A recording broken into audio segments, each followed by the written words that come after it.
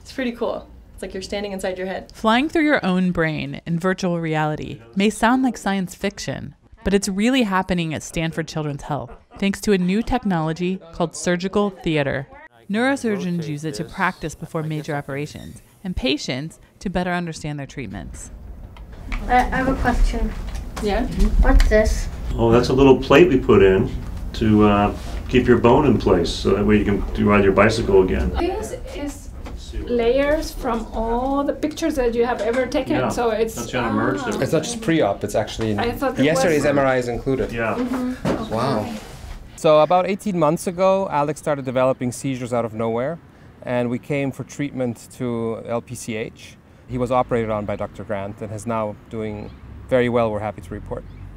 Dr. Grant and colleagues use surgical theater to train before major surgeries and also during operations. We're going to fly through here in a moment to take a good look around. It really took something like surgical theater to take the patient's scans and integrate it in three dimensions and to look around it and fly through it. A surgical theater technician works on site at Stanford to transform various medical scans into a VR experience. So I can manually go in um, to their scans and actually color in these lesions.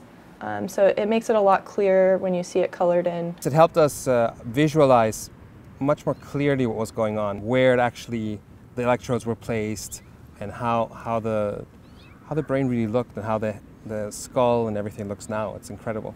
Virtual reality, making real life surgeries better for kids, parents, and doctors. Deana Mitchell for VOA News, Palo Alto, California.